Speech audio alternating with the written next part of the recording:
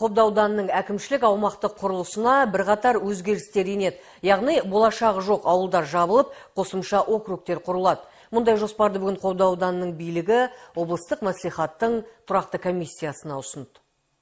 Депутаттар алдында баяндама жасаған Қобда ауданы әкімінің орынбасары Болат Құлов Исатай ауылдық округін аудан әкімдігі жабуды ұйғарып отырған мәлімдеді. Ол орталығы қиыл елді мекенде елу шақты адам қалған тілге тиек етті. Дегенмен Ақтөбе мен Оралдың ортасын байланыстыратын шекаралық ауылдың іргесіндегі Шетсайда Исатай батырдың мүрдесі жатқан қорым барын ескерген депутаттар округтың мәртебесін алып тастауды жөн көрмеді. Ауылды жапқаннан гөрі жан бітіру үшін мемлекеттік бағдарламаларды қолдану қажет деп пікір қосты. Әкімнің орынбасары ретінде айтыңызшы есепте мысалы бала саны кемиді сіз кәдімгі бір жетістік ұқсап айтып тұрсыз туу саны кеміді баланың мектептер азайды жұрт көшеді ертең ана жер кетсе мектеп қалады дейсіз да бір жылдан кейін ол жерде ешкімде болмайды ана нені ашық араны қараңыз кетіп қалды ғой кетіп қалды тап осылай жабылды уақытында бұлақ тек амалсыз өмір сүріп отыр ана жер өткенде жақсы қылып мектеп салып нетіп бергесін қиылдың бойындағы орналасқан жарсай ауылы ауылда шынымен қазір мектеп біз былтыр жапқанбыз. Бала саны жоқ. Балабақша екінші жапқан. Жаңа біз ә, мәселе жаңа айтып отқандай он тоғыз ғана аула қалды. Елу шақты ғана адам қалды. Сондықтан бұл енді айтып жатсыздар орталыққа енді тоқсан шақырым жолы жақсы. Біз ә, арнайы енді басқа енді амал қалған жоқ. Тұрғындардың басым бөлігі күнкөрістің қамымен аудан орталығына қалаға қоныс аударған. Ауылда қалғаны қолдағы азын-аулақ малды қанаға тұтып, кіндік қан тамған туған жерден ұзап кете алмай отыр. Әйтсе де Болат Құлов олардың әрқайсысымен сөйлесіп, түйткілді мәселені осылай шештік деп уәж айтты. Яғни жұртта қалған қиылдықтарға аудан орталығынан үй салу үшін жер беріліп, шаруашылықпен айналысам дегендеріне қолдау көрсетіледі деп сендірді.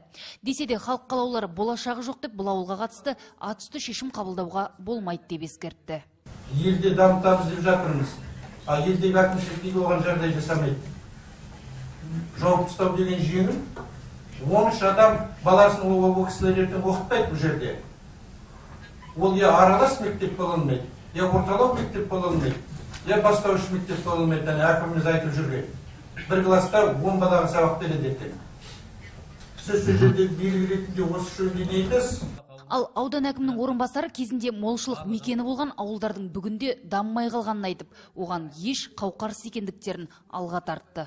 құрсай ауылдық округін айтып жатсыз бұл жиырма бес шақырым ғана аудан орталығына жақында бірақ ә, шын потенциалы өте төмен иә жаңа ол мен айтып жатқан мынау соңғы жылда анализ жасап иә, қанша бала дүниеге келіп отыр біз бәрін бақылап қарап осындай нәтижеге келіп сізге ұсыныс жасап отырмыз сосын мына өңірлік бағдарлама деген бар. Ә, осының бәрі қазір халық санына байланысты болып отыр. Мысалы құрсай жүз елу адам болса өңірлік бағдарламасы бойынша жүз елу мың ғана ақша береді. Ол жаңағы балабақшаға да иә мектепке де бір жөндеу жұмысына жетпейді. Егер мысалы ол екі, ауылды құрсай ауылдық округін біз қобда ауылдық округін қосатын болсақ қобда ауылдық округінде қазір алты, мыңға жақын жуық адам тұрады. Жаңағы жүз елу мыңды қосамыз сонда ол алты мыңнан алты миллионнан астам қаржы болады. Қысқасы, Қобда ауданына қарасты Бұлақ ауылдық округінің құрамындағы Талдысай ауылы өз алдына бөлек округ болып құрылады. Ал Құрсай, Исатай және Шаңаталап ауылдық округтері жабылады. Құрсай Қобда ауылының құрамына кіргендіктен ауданда біраз әкімшілік аумақтық өзгерістер болады. Райгүл Шыбайқызы, Аманжол Айтмағамбетов, Қазақстан Ақтөбе.